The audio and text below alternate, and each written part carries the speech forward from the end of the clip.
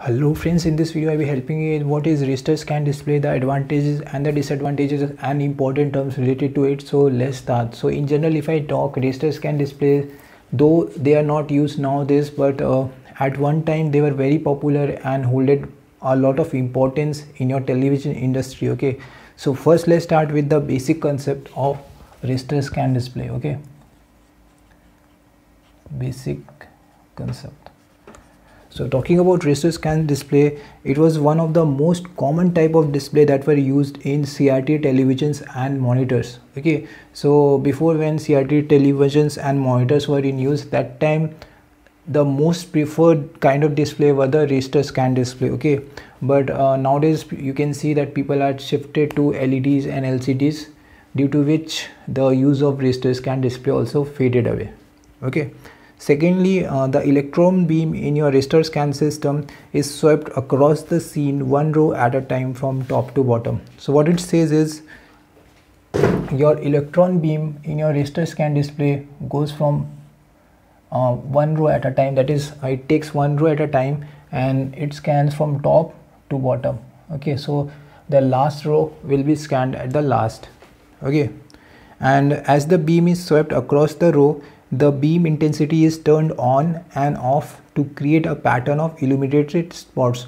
So as the electron beam passes from one point to another in your row it sets the in intensity value for that particular spot okay? If it is black and white then it will either set 0 for black and 1 for white okay? Now let's discuss um, about refresh buffer okay refresh buffer.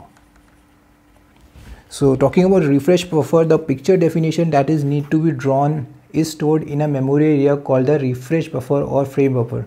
So whatever picture that you need to display on your screen okay that picture is stored in your refresh buffer. And that picture is just not stored like this.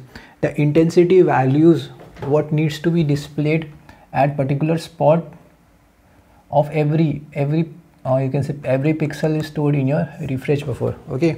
That is the main work of your refresh buffer. So that's what it says the refresh buffer holds the set of intensity values for all screen points. And stored uh, intensity values are then retrieved from the refresh buffer and painted on the screen one row at a time. So the electron beam uh, takes the help of refresh buffer for setting the value of or you can setting the intensity value of particular uh, pixel okay now let's discuss about the intensity range. So intensity range talking about a normal black and white raster scan display the intensity range was just one bit per pixel. Why? So because it was zero for black and one for white. That's it. Yeah, so it was just like one bit per pixel. That's why in that in black and white raster display the frame buffer was also used also called as bit map okay because just uh, it was one bit at a time or you can say one bit per pixel okay. But in colored raster scan display what was there was the intensity values ranges from 0 to 24 bits okay. And that's why your frame buffer was also called as pix map or we can say pixel map. For particular pixel the intensity could be from any uh, 0 to 24 24 the was the you can say max white spot and 0 was the uh, you can say black one.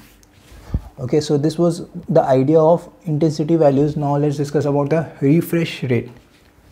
Okay so the refresh rate in your raster scan display was uh, calculated per second and it was 60 to 80 frames per second so you can imagine how quick it was at that time also okay?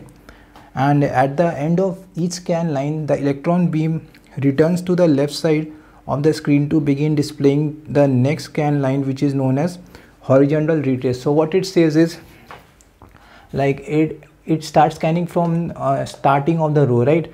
The electron beam and moves here, here, here, here, and once it finishes this much of pixel it will not start from here. It will it will come from here. Okay and this is called as horizontal retrace. And uh, other thing also that that is that at the end of each frame the electron beam returns to the left corner of the screen to display new frame. So what it says is once it has completed okay then you need to refresh right? In that scenario it used to again start from top. And that is it's used to called as vertical retrace. Okay so these were the two important terms okay now let's see how uh, a character will be displayed using your uh, raster scan display. Okay so for example you want to display b on screen. Okay in that scenario what we'll do is your electron beam will start from top left corner and it will move it will set intensity of it has to set intensity of if nothing is there. Okay if you don't have to show nothing then also. Then once it will reach this spot then it will set the intensity value as 1 okay then again again off off, off and this is how it will scan from left to right till till your end to display the particular character or particular picture. Okay so this is how it works. Now let's talk about the advantages and the disadvantages. Okay. Advantages and disadvantages. So talking about advantages we can display real life images which we have which have different shades so you could have um, easily displayed uh, multiple shaded uh, real life images with the help of raster scan display. So that was the best advantage. Second thing was the color range available is way bigger than random scan display. So the color range of your uh, raster scan display was much much bigger than your random scan display. That's why it was preferred so much okay. But it does have some disadvantage. What is that? The resolution is comparatively lower than your random scan display. So the resolution was lower as compared to your other random scan display. And second thing high memory is required. Why so?